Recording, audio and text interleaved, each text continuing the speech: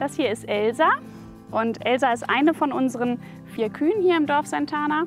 Elsa hat eine sehr, sehr bewegende Geschichte, ähm, weil die schon beim Schlachter war und sie hat es tatsächlich geschafft abzuhauen und äh, war dann zehn Wochen freilebend im, in einem Waldgebiet und konnte dann endlich eingefangen werden und ist dann über Umwege zu uns gekommen. Dementsprechend ist aber Elsa auch recht traumatisiert.